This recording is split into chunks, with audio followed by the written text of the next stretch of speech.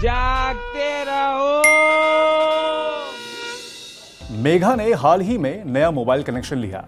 नए सिम को एक्टिव करते ही अचानक से किसी बैंक रिकवरी एजेंट का वसूली के लिए कॉल आया।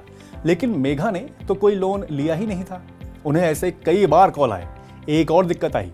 मेघा चूँकि यूपीआई का इस्तेमाल करती थी, नए नंबर से यूपीआई लिंक करने की कोशिश की, लेकिन यूपीआई लिंक ही नहीं हो रहा था। पता चला कि उसका ये नंबर पहले से किसी और की यूपीआई से लिंक्ड है।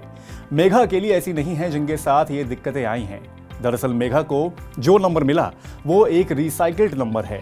रिपोर्ट्स के मुताबिक, टेलीकॉम कंपनियाँ हर महीने ऐसे एक करोड़ नंबर के सिम बाज़ार में भेज रही हैं। ये ऐसे नंबर हैं जिनका पहले कोई दूसरा व्यक्ति इस्तेमाल कर रहा था और रिचार्ज ना करने की वजह से उनका नंबर बंद कर दिया गया। या फिर उन्होंने खुद ही उसे बंद करा दिया।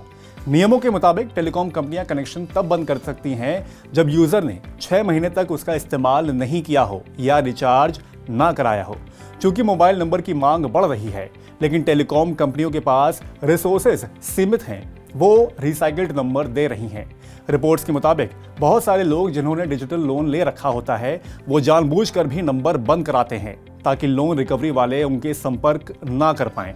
इसका नुकसान रिसाइकिल्ड नंबर लेने वालों को होता है, जिन्हें रिकवरी एजेंट बार बार फ़ोन करते हैं।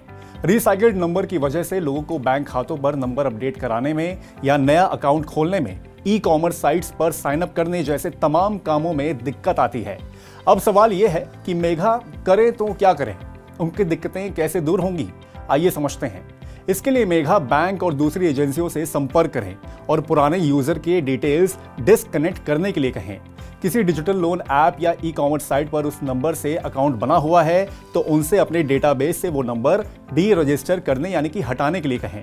एक और ज़रूरी बात, जब भी सिम लेने जाएँ तो टेलीकॉम कंपनी के प्रतिनिधि से रिक्वेस्ट करें कि आपको बिल्कुल नया नंबर दें।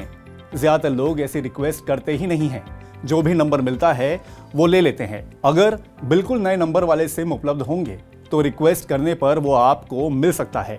इसके अलावा अगर आप खुद कोई नंबर बंद करा रहे हैं तो उस नंबर से सारे ऑनलाइन अकाउंट्स डी रजिस्टर कर दें। इससे नया यूज़र परेशानी से तो बचेगा ही, आपके डेटा की सेफ्टी भी होगी।